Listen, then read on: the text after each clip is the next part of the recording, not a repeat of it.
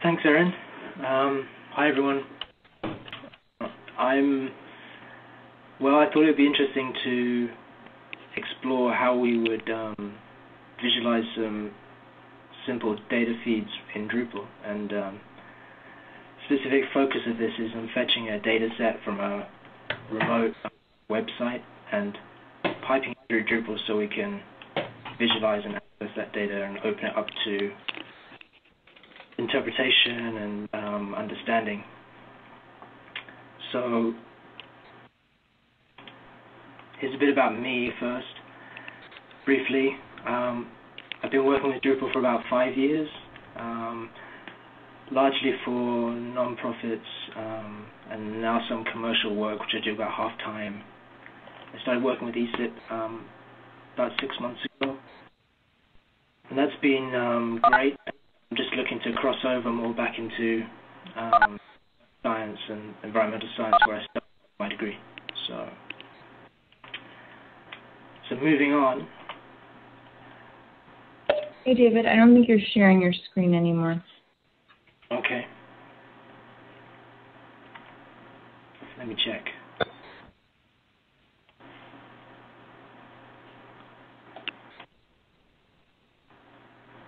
Okay, it's clicked off. Sorry. Let's try again.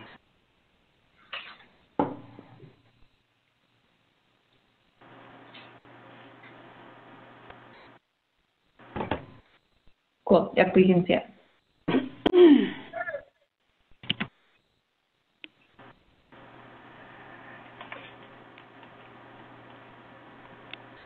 So, um, so what I wanted to do for this is I set myself the task of just using the Drupal interface, setting something up that um, quickly and easily using the tools that are available within Drupal, and want to pull data from a remote URL, and we'd also like it to update regularly if that URL data changes. Then um, overlay a simple chart, simple but with all the um, functionality you expect to display scientific charts. So also looking for a little bit of interactivity, say hovers, and ways to ways to explore the data, as well as good support across different devices and browsers, which is pretty important these days. So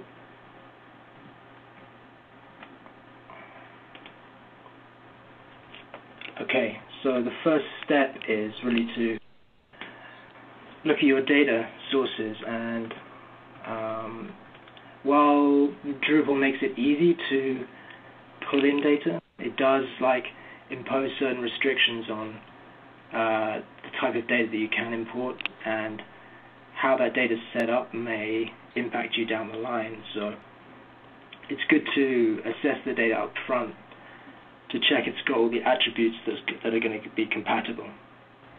So if um, it doesn't, then you may need to either pull it down locally and process it yourself, or maybe have some server-side programming that, that processes it um, and puts a file on the server which it can pull from. But I'm just going to take a look at uh, two different data sets, and I'm keeping this pretty simple just so I can um, outline and walk through like the steps in Drupal that we need to take to set this kind of thing up. And then um, actually at the Drupal lab, I'll aim to get into a bit more detail um, with different visualization uh, types and different formats of data. But for now, we're keeping it pretty simple. So I have two data sets here. And I'll come back to this slide. But um, this first one is the classic um, CO2 curve from Mauna Loa. And this one is from Scripps. So I guess the first thing you notice here, and that's typical of a lot of it seems um, CSV datasets or text datasets that they have some documentation attached in the file, which is good, really good. But um, feeds sometimes has a hard time processing that. So ideally, we're looking for um, in standard feeds, and perhaps I've jumped ahead in that feeds is a module for Drupal that pulls in data. Um, so feeds can handle um, the headers in the first row. It has a harder time stripping out all this header or footer documentation. Now there is a, a patch for feeds which I've used here. So I've, there's, this is one point where I've broken the rule and I've applied a patch to feeds to get this to work, but everything else can be done with just standard contrib and core modules. So in comparison, this um, is a ice dataset from uh, NSIDC. And this does have like just a single row of headers, which is good. But on the other hand, the uh, separators between rows are not standard. They're just uh, spaces. So Feeds has a very hard time processing that. Um, if this was tab or semicolon or a comma, that would be fine. Um, but as it is, you would have to pull this down locally to process it, or um, perhaps use Python or something similar to access that uh, or pre-process that on the server. So going back to the CO2 dataset, I'm going to scroll down and some of the other criteria we might be looking for is that um, feeds identifies each row by the uh, the title and the column that it identifies as the header. So here we've got year, month, fine, uh, but we've got date and date, which can be problematic. So it would make it harder to pick out each column. Um, but we're going to work around that in this case. And another thing that you're looking for is there should be at least one column or data series which has a unique um, number or identifier for each row. So Feeds relies on this to um, identify which uh, row should correspond to which node in the Drupal system. So when you're updating from this remote feed, then you can um, update the existing nodes rather than them to uh, recreate them. It's essentially a way of tying, it's really a key, so you can tie the CSV dataset into the Drupal dataset.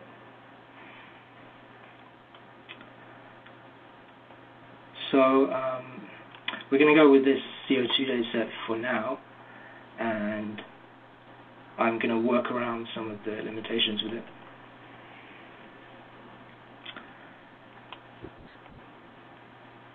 So skipping on. Now the first step we need to take is to set up an alternative data structure for this content or this data in, in Drupal. Now there there is um Drupal's undergoing a transition from everything being a node to having different entity types. So in Drupal 7, um, users and taxonomy terms and other types of data became their own entities. Um, this process has started for to create the idea of a data entity, but that process isn't very far along. In practice, it's very hard to use and very buggy.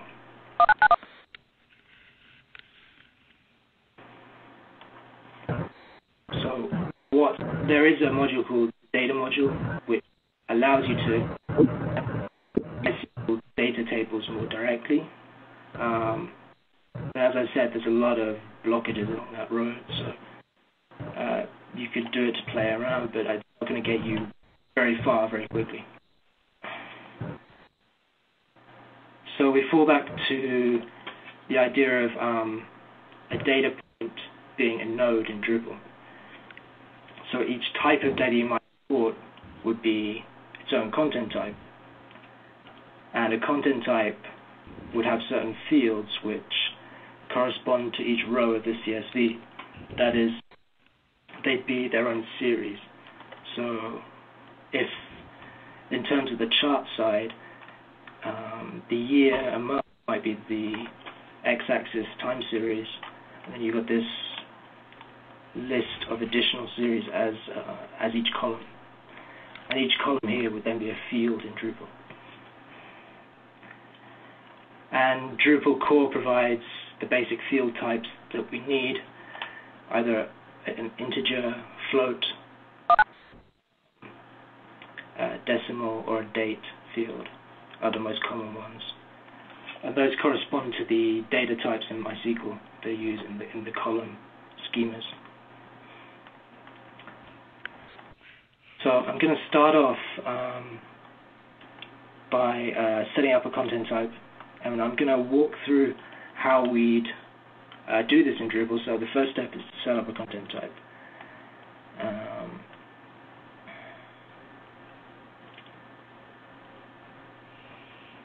so just bear with me.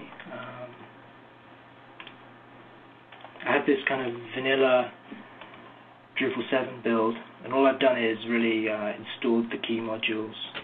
And I've actually added the fields already just to speed up the process, but um, go to content types, add a new content type.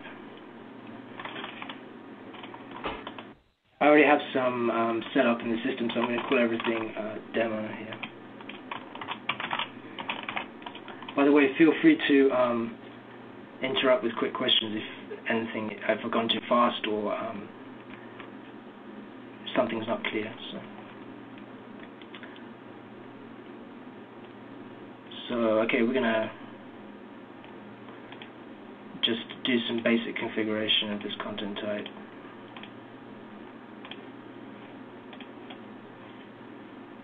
Save and add new fields.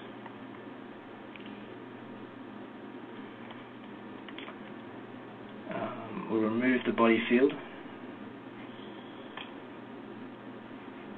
So whilst um, this isn't strictly so segregated from content, it also has the advantage that if you're using content types, then the support for workflows and other processes in Drupal is very strong, so you can apply those to your data, um, your data points. So I'm going to add a few fields here. I'll bring up the data set here just to show the mapping. Um, the first one will be a year, which uh, I have an inter integer field here because we're just keeping it simple. So we'll add that. Um, next one is the month.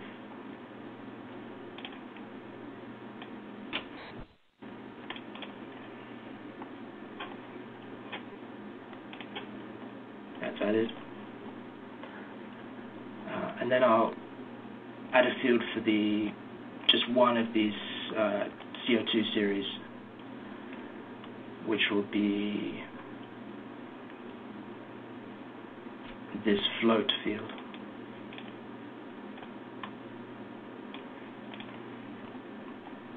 So floats are just, um, in MySQL, numbers with decimal points as opposed to integers.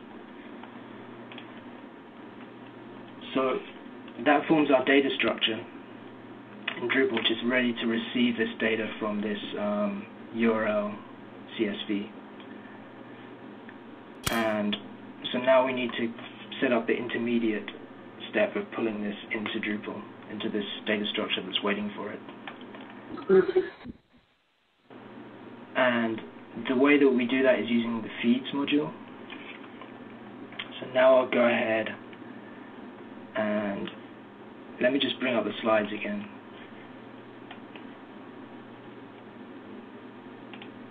And move on. And we can refer to this as I'm setting it up.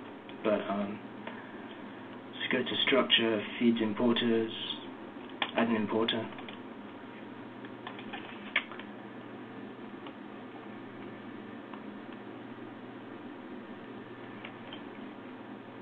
So I'm going to um, call this uh, demo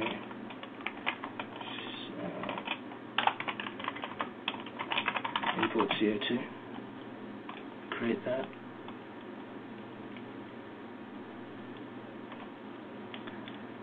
So Feeds has pretty good documentation here, but um, you only need to really use some of these settings. The it's essentially comprised of um, three sections. One describes where the data should be fetched from. So you select a fetcher. And all of these are kind of modular, so you can add in new contrib modules that might provide different sources. Um, so then you've got so you've got the fetcher, you've got the the parser module that you're using. So what format is the data in? How are we going to parse it? and then the processor, which is how should we process this data and where should we inject it into Drupal and how. And that describes the kind of the content type we're injecting the data into and the mapping between the fields on the CSV or the columns on the CSV and the fields in the Drupal content type.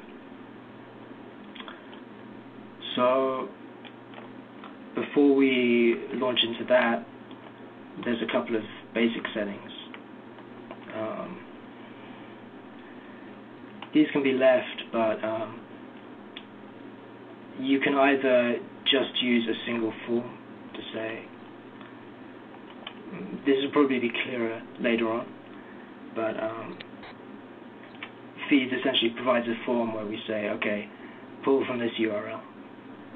So maybe instead of just using a form, we could use another content type to say, okay, here are 10 URLs so pull from all these 10 URLs and do that every so often. Um, here you can set how regularly feeds will check uh, that remote data source for updates. But I'm going to leave this in its standard uh, form for now. So on the fetcher, um, the standard one is either from a web URL or from a file. Now the file could be something you upload from your local system or it could be a file on the server which could be useful in case you have some other script that's maybe processing that data before you're putting it into Drupal. So the um, FTP is a contrib module which actually works pretty well. Uh, uh, tried this out in response to the fact that this um, NSIDC dataset is actually uh, provided by the FTP protocol. So it's a little more cumbersome to set up, but that can be done.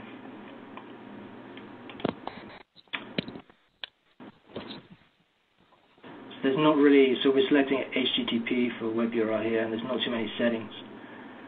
Um, we can skip past that. Next we're setting, uh, we need to select a CSV parser. And again, um, if you just Google for Drupal feeds parsers, then there's a quite a large array of uh, different data formats that could be supported here. But here we'll select CSV. And in the settings, um, we can select different delimiters, uh, have semicolon, comma, or tab, uh, but not space, unfortunately. And this, these fields for header size and active header, these are actually not standard feeds. Um, the standard feeds module right now will only support your header row either or either no header row at all, or um, a header row in the first row. But with this patch, which I hope will make it into the module soon, we can say, okay, in this case, the first 58 rows of this CSV are uh, just documentation. So we're just going to ignore that. And the header row that we want to use to um, identify the, the CSV columns in the fields is uh, number 55. So that can help to pick header row with unique um, labels which feeds needs.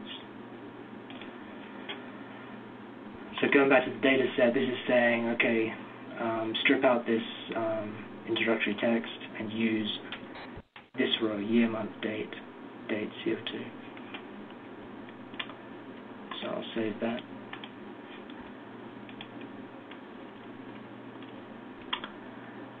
So the processor, we can inject this into different types of entities.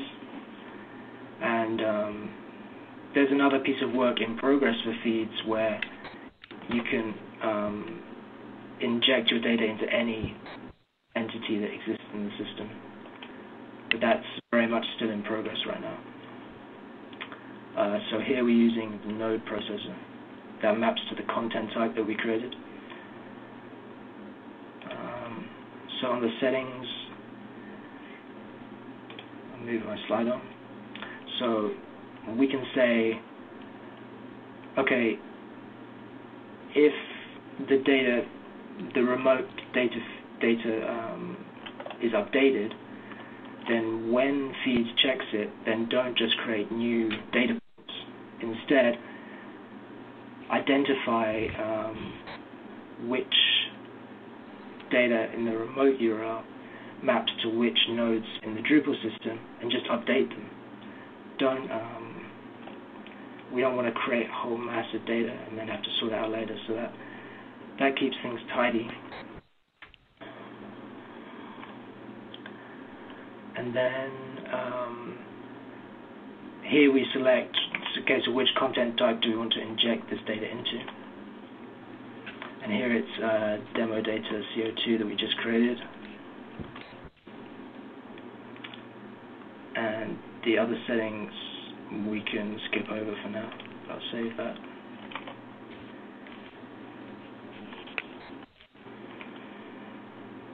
So next we're moving on to the mapping. Uh, this is probably the most bulky piece of configuration in the feeds importer. It's essentially just saying map these CSV columns to these fields in this content type that we have um, decided we want to inject our data into. So in the source uh, column here, that um, that equates to the uh, column label that we've selected to be our header here. So this would be year.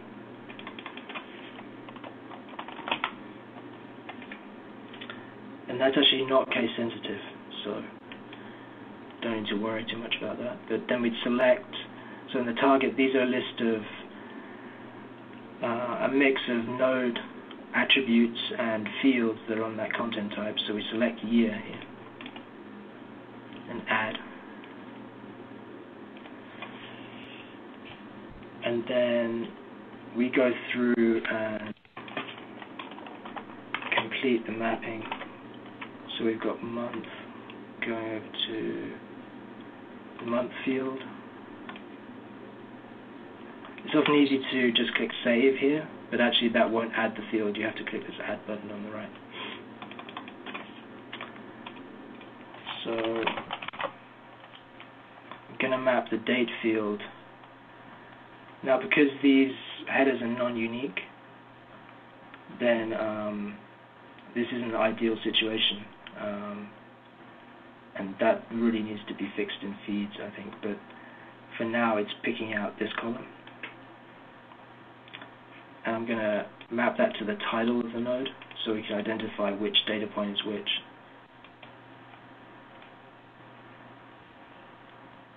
Um, and then I'm going to map the CO2 column to the CO2 field it created.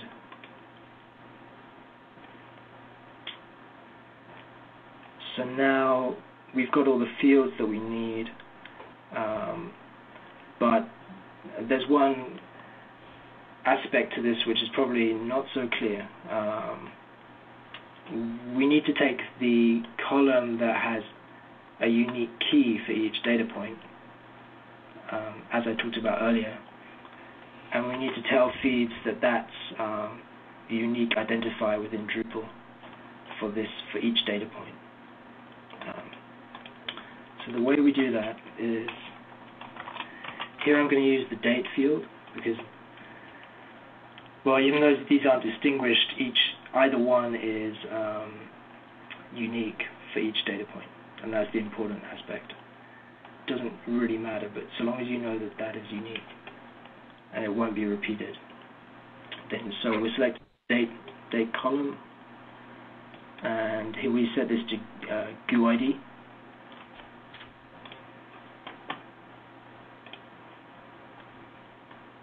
and we say we click the settings and we say oh yeah use this as the unique field.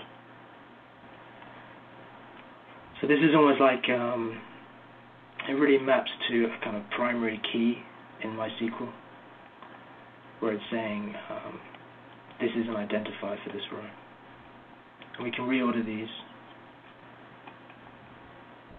um, mainly to tidy things up but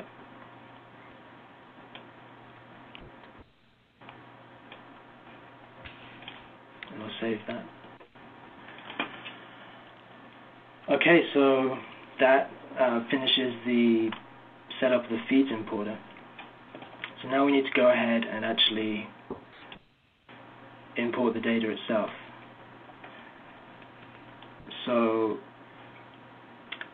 at the beginning I mentioned that we're setting this to use a standalone form to so the one thing that we haven't told feeds is okay so what's the URL that we want to get this from?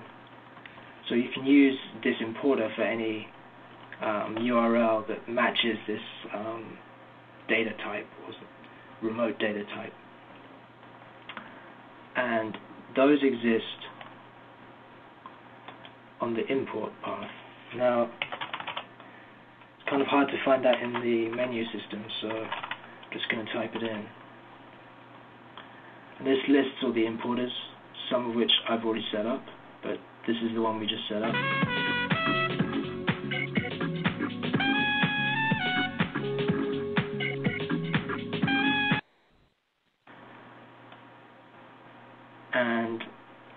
You go to this importer, then it lists, um, okay, so we can override some of the settings that we set up in the importer. Some of them are um, just defaults that you can override as you go. But we'll leave these, and this is the URL of the, the data source. So we're going to click import and hope for the best. Okay, so that's now coming in.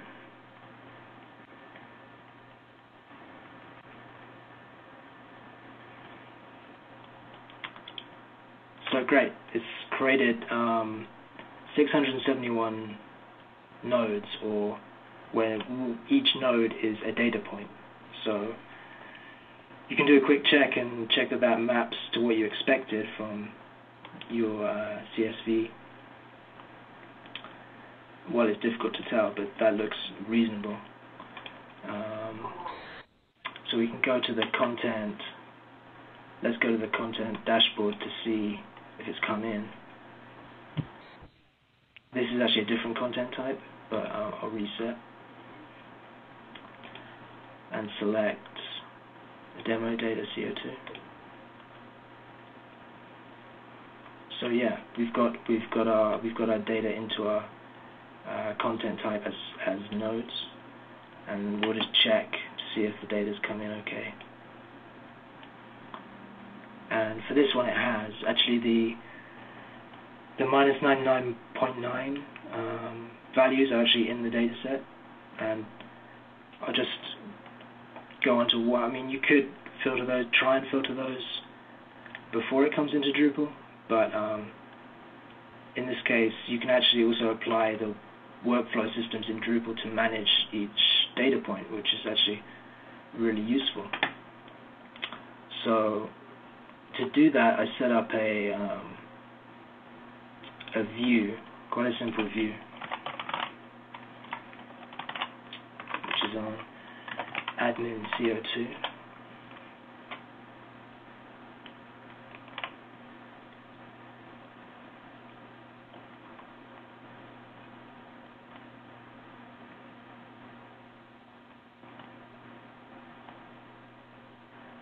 This is just showing our data points and allowing us to um, moderate them. So, uh, okay, I'll select a data type here, a content type as it were. So, we'll filter by the demo data CO2 content type.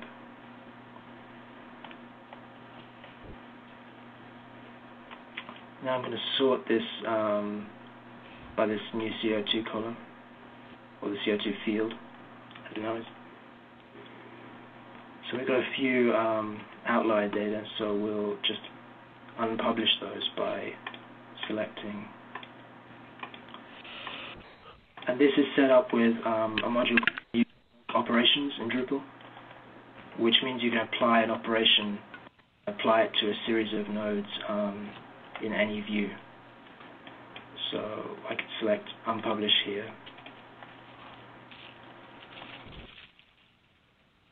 So the data's um, still there, but we've just unpublished it, and we'll filter up when we set up our view to do the visualization.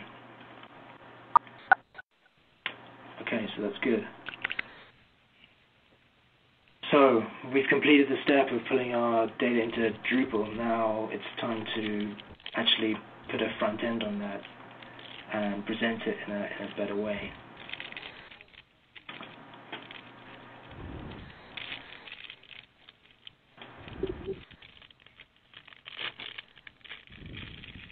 So there's a pretty wide range of um,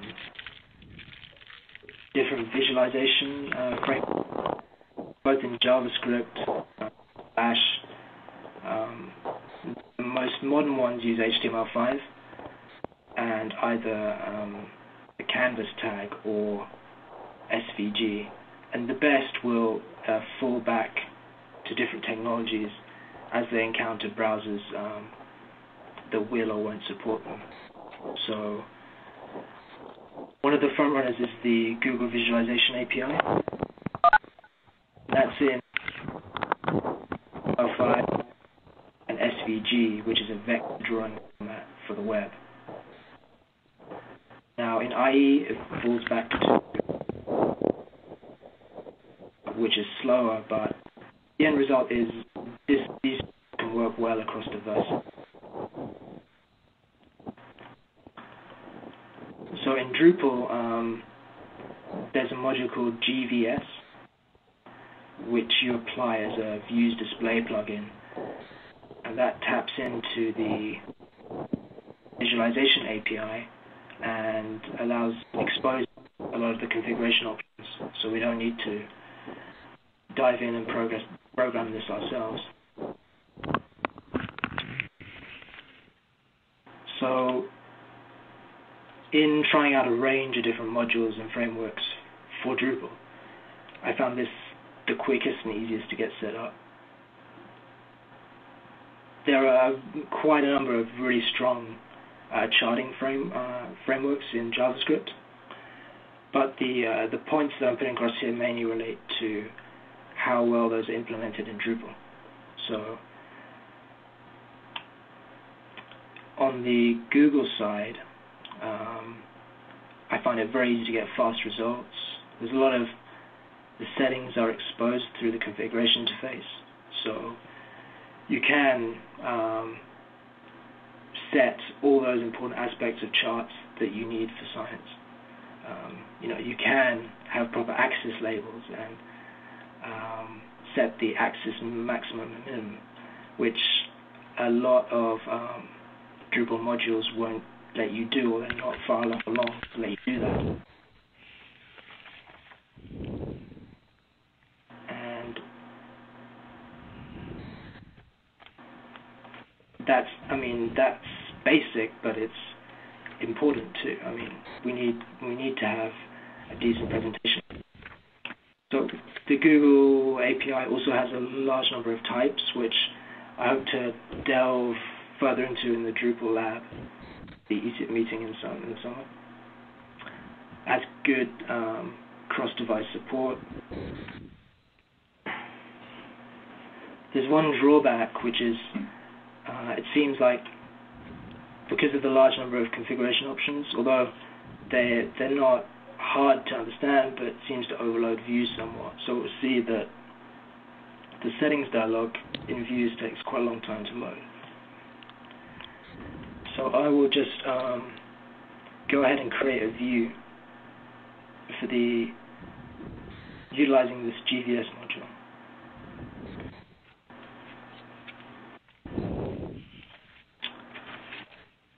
Okay, um, so let's go create a view.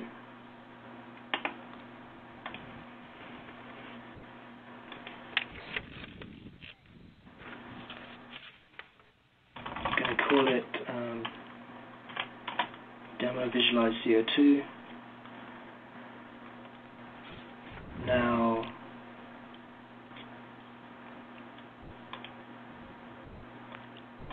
so we want to show content of type. Um, this is the content type that we've used to contain our data. Um, so we're creating a page, right? And the page title is fine, path is fine. Um, so in the display format for GVS, uh, we just select GVS here. And we're using fields. So in views, each field is corresponds to a data series. Um, so in the chart, then one data series might be the x-axis values.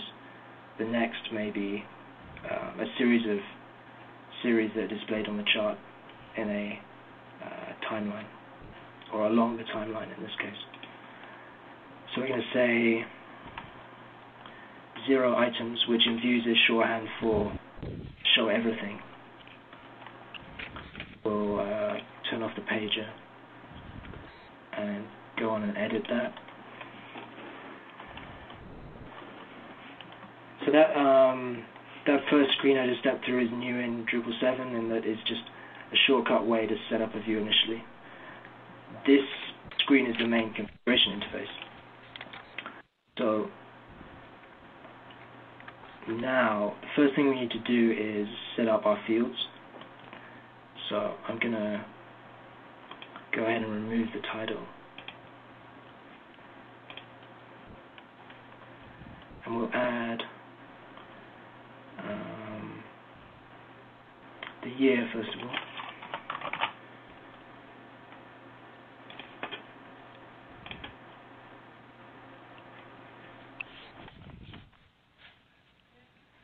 And then the CO2 series.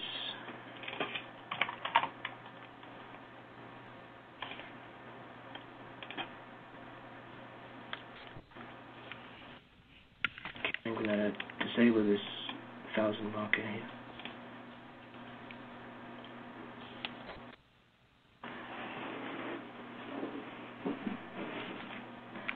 Now we go ahead and configure the chart itself, and that's in the um, GVS format settings. But this is where, as I was saying, this module is a little. Um, this uh, screen comes up quickly, but when you first of all you'd set the title. So we say atmospheric. Good. And we'll make it a bit. When you select the, you can see there's a pretty good range of types here. Uh, most of which I've yet to try out, but we select line just to do a simple chart. And this is where the module seems pretty overloaded by a number of configuration options. So we need to give it um, a minute or two to actually load up. The only drawback I found with this. So I guess now would be a good time for any questions if um, anything's been unclear so far or uh, anything. Any other comments? I think there's one quick comment to mute your line if you're not talking.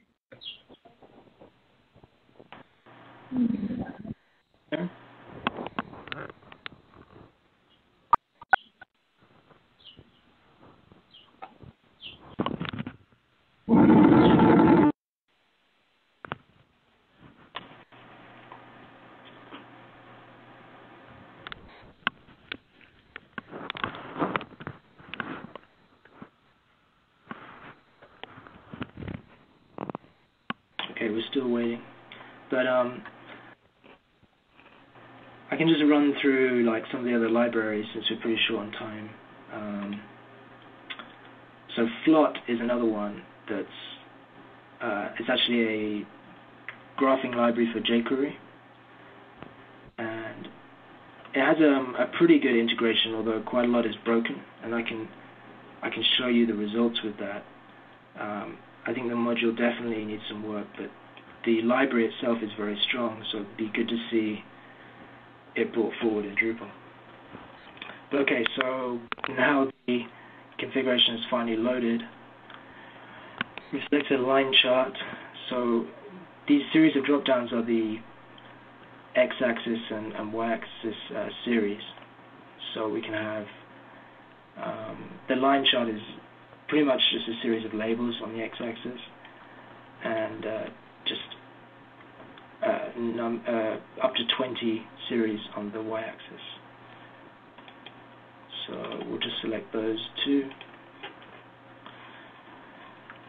Now there's a lot of uh, configurability here, but I'm just gonna just set the axis titles and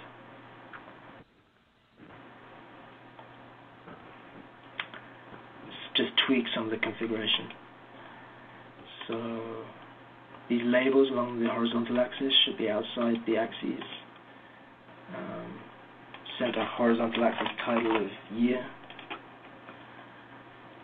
We can set a, um, let's push these y-axis labels outside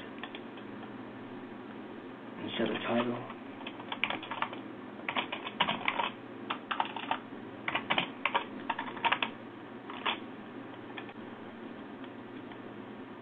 Okay, so that's all we're going to use right now. But you can change a lot of the appearance settings.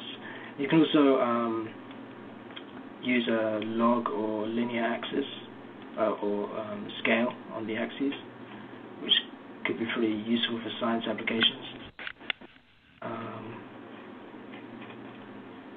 yeah, and you can also set different color schemes, which can be nice. There's a range there. So I'll Is, it possible, David? Is it possible to uh, uh, expose any of these switches to the, you know, the, the end user on the site to change things around, or are these all preset? Um, these chart settings are within the view, but um, I know the uh, these is part of a suite of modules created by uh, the Jefferson Institute, and I know they have a um, site which allows you to do visualizations yourself. So um, it's possible in that suite then uh, there could be some module that exposes these because that's what they do in their own site. So um, yeah, definitely something worth checking out. But um, yeah, you can expose filters and as you do normally in views.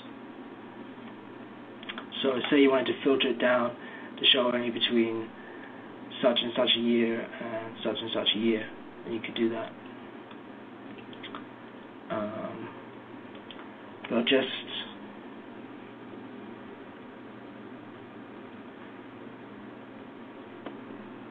Okay, so we've got a filter for our content type here, and we're saying only show those published nodes, so we can um, pick out the outliers or the um, or the bad data. And then I'm going to remove this sort criteria. So we should be able to save that and get a, chart.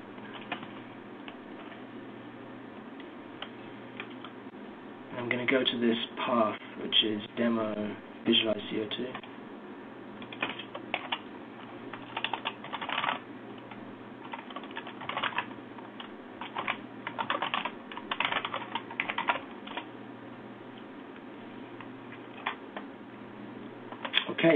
Worked.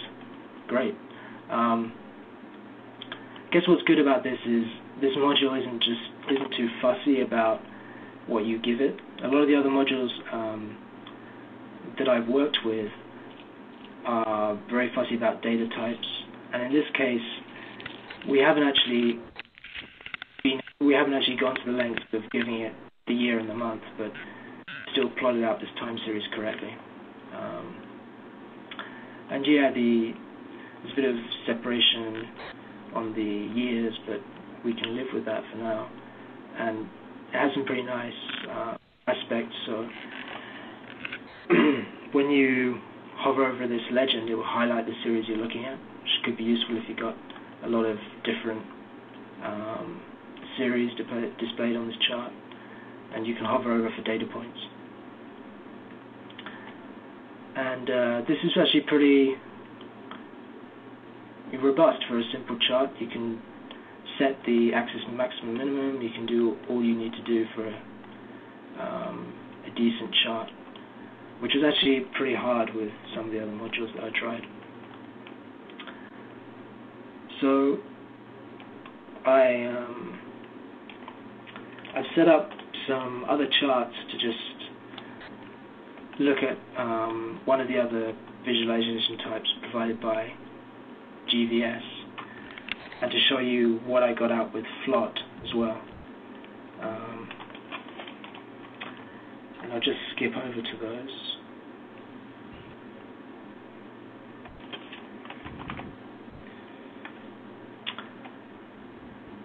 So this setup was the previous one I'd done for the same CO2 dataset. And this is the same line chart. But if we use um, a scatter chart, we can not just use labels on the x-axis, but actual numeric data.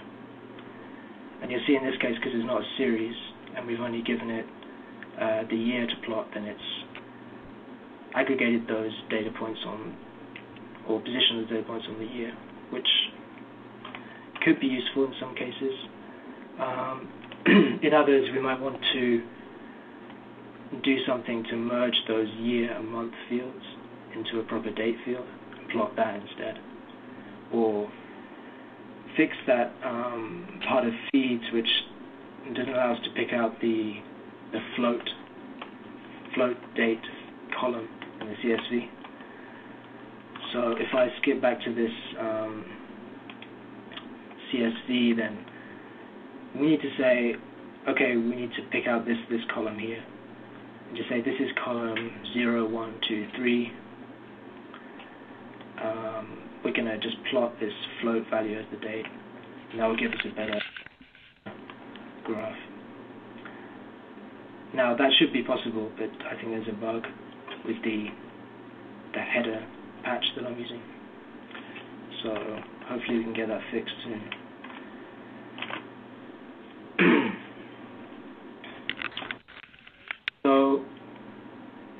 I also did that with a C, that the initial sea ice data set that uh, I mentioned. But because it doesn't have a consistent separator, I had to pull that down locally and uh, separate that out uh, kind of manually using a spreadsheet. But um, just this is how that turned out. First of all, this is the um, the line chart in different color scheme, and again, you can hover over. So there are two, I use two series here on the y-axis. Um, one includes a central area, or includes an assumption about the central area of the Arctic ice cap. Uh, the other excludes it. So that's kind of a a methodology or data gathering difference there. But um, when you hover over the series, it will highlight it. You can pick out data points. This is um, the views filters that I uh, mentioned before. So we could select, say, we just want to see after um, 1990 and before year 2000. That should filter down the data set to those years. And right now that doesn't seem to work without, um, it requires a page reload, but Views is essentially filtering down that data before it reaches the chart application. There's also a lot you can do with the the front end in the in JavaScript because every one of these actions is exposed to the DOM and um, to JavaScript events. So you could also write quite a lot on this to hook into different um, actions on the, the user side. So I also did a scatter here, which looks quite nice. And going back to Flot, um, yeah, Flot was pretty easy to set up, but it had some pretty basic breakages with just identifying um, series. And for some, and you couldn't set the axis labels. Now that might be part of an upgrade, getting this module onto seven, Drupal seven, but um, there's definitely some work to be done there. Uh, it does have quite a nice interactive kind of explorer, which I'll show you. Uh, this is this is the result for the CO2 dataset. Now, it actually looks pretty nice, but um, you soon see that the x-axis series hasn't been mapped out properly. It's just showing the number of the data point, and uh, it's actually this should actually be a line chart, but it's not showing it. I think the reason why it's not identifying it's identifying each point as a series. So this legend is is huge, but um, the open source world, I guess, is messy sometimes, and it'll be good to get some of this fixed because Flot is a really good library. But um, so yeah, with the Explorer here, you can actually just drag and select a portion of the data set. It'll zoom in on that and show where you are in context in this bottom um, chart. Then you could go back by selecting this bottom one, etc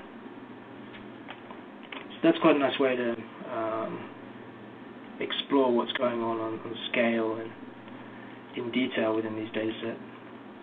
Say, for example, to explore the seasonal cycles. So visually, it comes out pretty well, but um, be nice to see some of those those bugs fixed.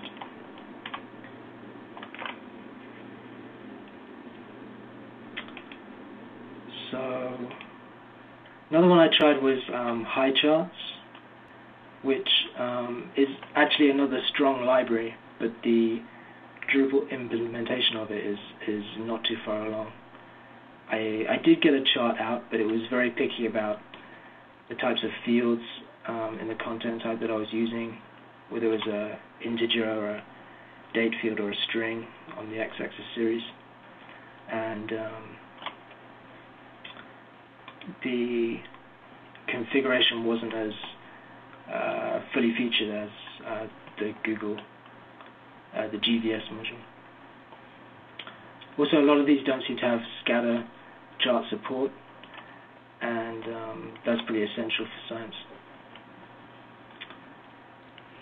So, yeah, just to mention, there's a, a second branch to that, which is probably even worse off than the first one, but I think they're trying to expose more high options to, to users and views. And I'm hoping that will bring along the Highcharts implementation as well.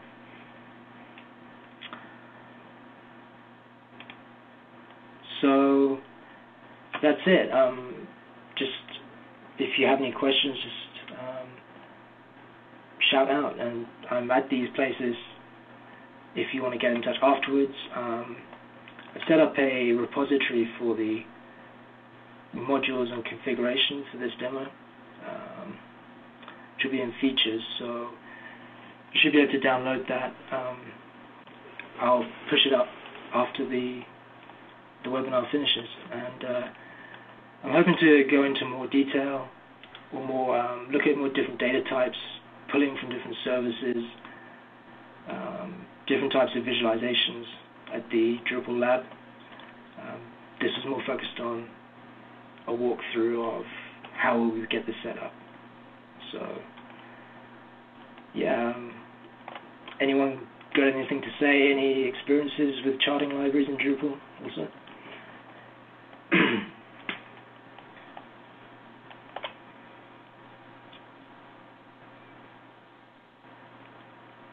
well, thanks, David. This has been uh, uh, really, really uh, useful, I think, to a lot of people, and uh, uh, we will also get this up on on YouTube in the next week or so, so people who aren't here can see it. Cool. Yeah. Um, I guess it can be messy, so it's good to know um, how to navigate through the potholes and roadblocks out there in the open source world. But I think, yeah, using this uh, recipe, you can really uh, pull something together pretty quickly. Um, okay. Yeah. Cool. While people are still here, let me just announce a couple things. Um, next month, we will not have a call because of DrupalCon. Um, and then uh, in June, we will have a call, and we're going to be going uh, diving deep into some semantic web uh, uh issues um, with uh, Drupal 7 and looking ahead to Drupal 8. Um, and uh, um, and then July, of course, um, is the Drupal Lab on July 9th. We already have a good lineup of of presenters. We I think we have one one more spot if you have uh, something you'd like to present. Um, and uh, I just got an email from WebChick. She uh, she can't make uh, the July uh, meeting because she and her partner are adopting a, a baby at this point. Um, and uh, but she's going to be looking for someone who can give us a real great introduction to what's going on with uh, Drupal 8 at Drupal Lab, and we'll get that name as soon as I as soon as I get it. Um, so there's going to be some. Uh, um, I'm in uh, Research Triangle Drupal Working Group, and we uh, we're hoping to get some locals into the uh, into the mix as well. Um, okay. Um, anybody have questions for for David on uh, on data access.